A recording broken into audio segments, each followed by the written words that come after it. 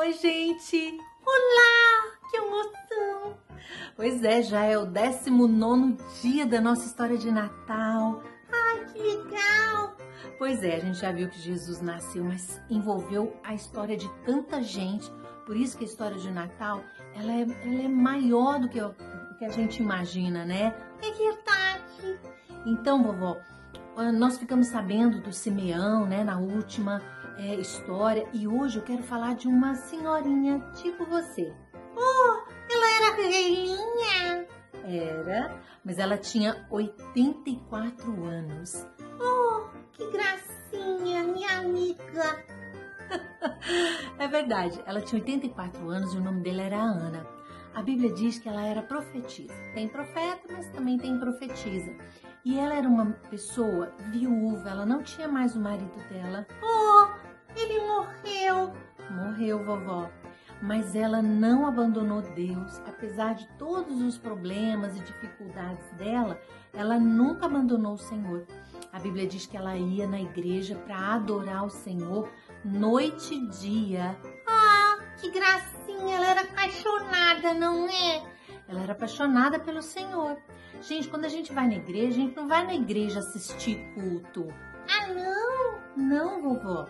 A gente vai na igreja para cultuar, para adorar o Senhor.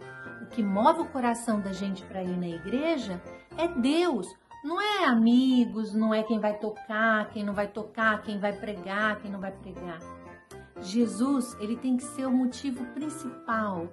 O resto é muito bom, mas ele é o que vai fazer você. Ai, eu preciso ir na igreja hoje adorar. A Ana adorava dia e noite, gente. E tinha mais, vovó. Ela jejuava. Ela jejuava. E ela sempre orava pelas pessoas, por Jerusalém, que era o povo dela, né? Gente, aconteceu que ela chegou lá e ela viu o bebê. Jesus! Uhum, ela viu Jesus. E ela ficou tão assim, admirada de ver o Salvador da humanidade, que ela começou assim a proclamar: gente, esse daqui é Jesus, aleluia!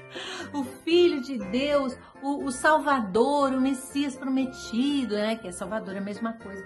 E aí é, ela falou assim: olha, presta atenção, ele chegou, Deus cumpriu a promessa. Gente, foi muito lindo ver uma mulher tão dedicada e tão apaixonada por Jesus, ver o próprio Salvador naquela hora, né? E proclamar para as pessoas, falar bem alto para todo mundo. Glória a Deus nas alturas! Exatamente, paz na terra aos homens de boa vontade ou a quem ele quer bem. Então, gente, a nossa tarefa hoje vai ser bem legal. Nós vamos fazer comidinha de vovó. Você junta com a sua família ou com seus irmãos e faça uma receitinha da vovó bem gostosa. A gente pode comer hoje, como pode também comer no Natal.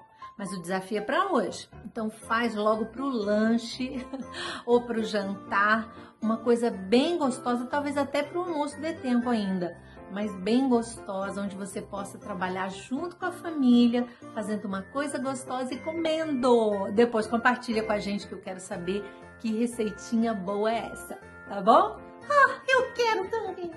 Tá bom, gente, até a próxima história amanhã tem mais. Tchau, tchau. Tchau.